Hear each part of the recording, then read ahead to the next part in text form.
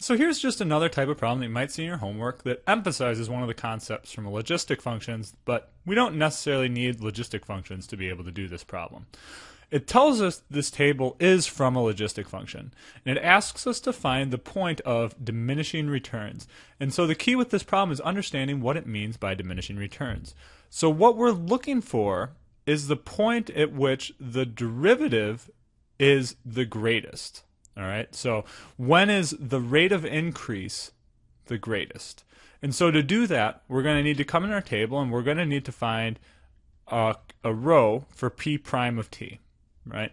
And we'll just use the same technique here we've done all along, where we um, where we to get say to get the derivative here to get the derivative here, we'll find the slope between these two points, we'll find the slope between these two points, and then we'll average them to get this point here.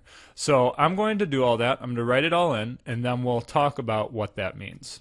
Okay, so I filled in all the entries to the table. Up here, these are the slopes between the points, right? So this 0.94 is the slope between 8 and 10.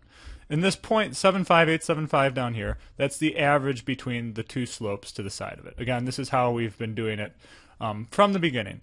And so if it wants us to find the point of diminishing returns, we're looking for the point at which the derivative is the greatest. So remember our function, our logistic function, kind of looks something like this. And so at the beginning, the derivative is going to be positive, but not that great. Here, the derivative will be positive, but not that great.